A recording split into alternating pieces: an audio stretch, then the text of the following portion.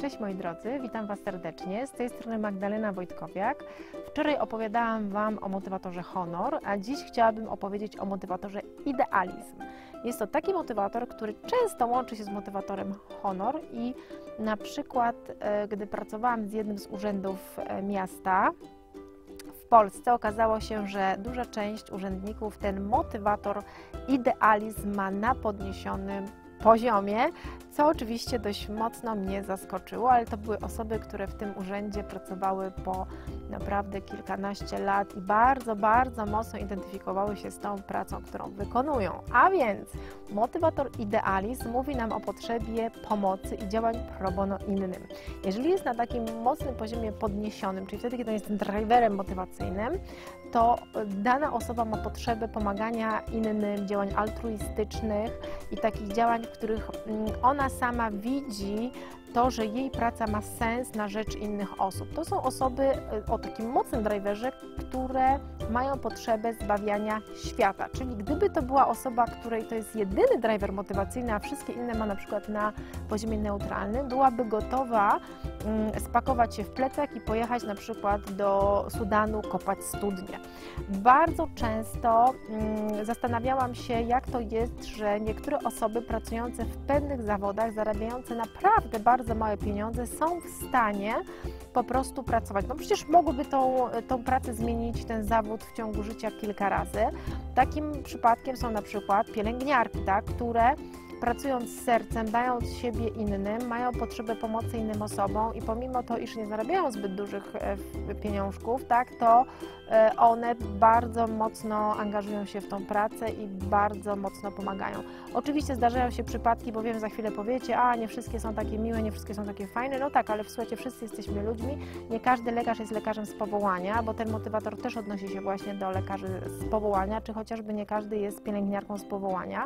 Natomiast statystycznie E, to są takie zawody, które, u których ten motywator, idealizm jest e, podniesiony i Ostatnio miałam sytuację, gdzie pojechałam z moim dzieckiem na mm, oddział y, chirurgii dziecięcej na ostry dyżur i poznałam lekarza, y, który po prostu mnie zaskoczył y, swoją pomocą, swoją cierpliwością, tym w jaki sposób nami się zaopiekował i tak naprawdę jak, jak nam pomógł, a tak naprawdę wcale nie musiał.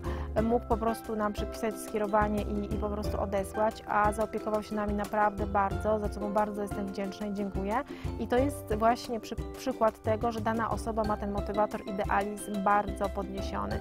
No to są osoby, które mm, pracują i angażują się w wszelkie akcje charytatywne, czy w, w domy pomocy, opieki, dlatego że one po prostu tą potrzebę wewnętrznie mają. One mają potrzebę pomagania innym, pomagania biedniejszym, słabszym i nieważne jest to, czy to jest tutaj na miejscu, czy tak naprawdę jest to na drugim końcu świata, bo dla nich człowiek jest tylko człowiekiem.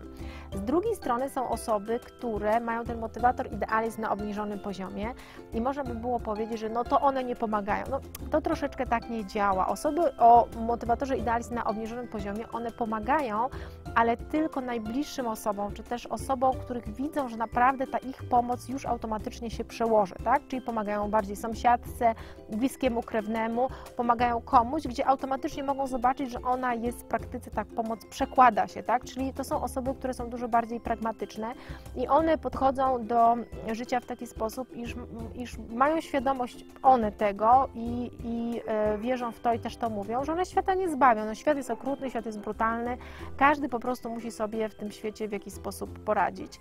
I teraz można by było powiedzieć, że to jest taki motywator, który no, w pracy nie ma zastosowania. No właśnie, że ma, bo w przypadku na przykład zwolnień z pracy, pracowałam z jedną firmą, w której nastąpiły pewne roszady zawodowe i zwolnili, panią w, no, w wieku dojrzałym, tak to nazwijmy, która niedługo miała iść na emeryturę. Mm, jedna osoba z tego zespołu zareagowała o matkę, jak ona sobie poradzi. E, spadła jej motywacja bardzo mocno i miała bardzo dużą potrzebę zintegrowania się z tą osobą i pomocy tej osobie. Mm, I niestety wpłynęło to też na jakość jej pracy, ponieważ ona cały czas nie mogła przeżyć tego, e, dlaczego tak postąpili, dlaczego tak tą panią potraktowali. I ta osoba właśnie miała podniesiony motywator, motywator idealizm. Mm, w przypadku wypadku, gdy druga osoba z tego samego zespołu, tak naprawdę z tego samego pokoju, o obniżonym motywatorze idealizm powiedziała, no świat jest brutalny, musi sobie poradzić, da sobie radę, tak? Czyli miała całkowicie e, odmienne, odmienne podejście. Mm, motywator idealizm bardzo często, bardzo ciekawie łączy się z motywatorem gromadzenie, bo pamiętajcie, że każdy motywator z każdym się może połączyć. To nie jest tak, że te motywatory łączą się tylko z charakterystycznymi motywatorami, nie, bo wszelkie kombinacje są dozwolone, ale zobaczcie, co się zadzieje, kiedy on się połączy z motywatorem gromadzenie. Jeżeli osoba ma e, podniesione gromadzenie i na przykład obniżony e, idealizm, no to w życiu nie wyśle pieniędzy na przykład gdzieś za granicę, gdzieś, gdzie nie wie, gdzie te pieniądze na przykład automatycznie zostają wykorzystane, będzie miała poczucie, że ktoś po drodze te pieniądze ukradnie. Osoba o obniżonym, e, o podniesionym motywatorze idealizm i obniżonym gromadzeniu, co zrobi? No po prostu wszystkie pieniądze odda biednym, bo przecież ona nie potrzebuje, a wszyscy inni potrzebują, więc ona, e, więc ona bez problemu to, to po prostu zrobi, wyśle do Sudanu, gdziekolwiek, gdziekolwiek tylko będzie mogła.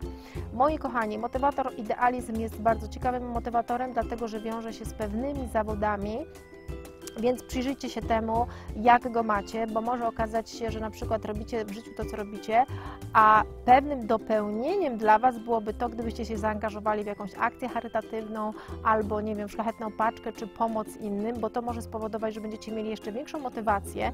Na przykład miałam przykład klientki, która zawodowo realizowała swoje cele, e, okazywało się, że brakowało jej czegoś jeszcze. Cały czas miała takie poczucie mm, dyskomfortu, że to nie o to chodzi, że jej praca nie ma sensu. W jej pracy nie była w stanie realizować się e, tak naprawdę mm, w pomocy innym ale wpadła na pomysł, że zacznie iść do schroniska i pomagać tam charytatywnie, bo kocha zwierzęta. I automatycznie, słuchajcie, motywacja podniosła się, ona zaczęła widzieć sens tego, co robi i sens e, swojej pracy. I pomimo, iż dotknęła całkowicie innego obszaru swojego życia, to wpłynęło na jej mm, po prostu, na jej, na jej cały obszar i podniosło bardzo mocno jej motywację i determinację, jeszcze zaczęła angażować inne osoby do tego, żeby, żeby ra, razem z nią działały.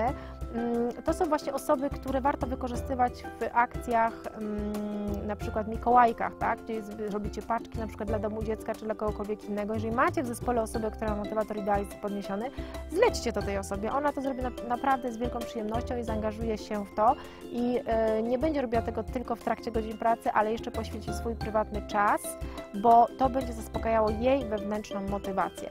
Ja Was bardzo gorąco pozdrawiam. Zachęcam do oglądania pozostałych nagrań i mam nadzieję, że zobaczymy się wkrótce na szkoleniach z DNA motywacji bądź dla menadżerów motywujący lider, a dla osób, które chcą popracować nad sobą głębiej motywacja level up. Z tej strony Magdalena Wojtkowiak gorąco Was pozdrawiam i do zobaczenia wkrótce.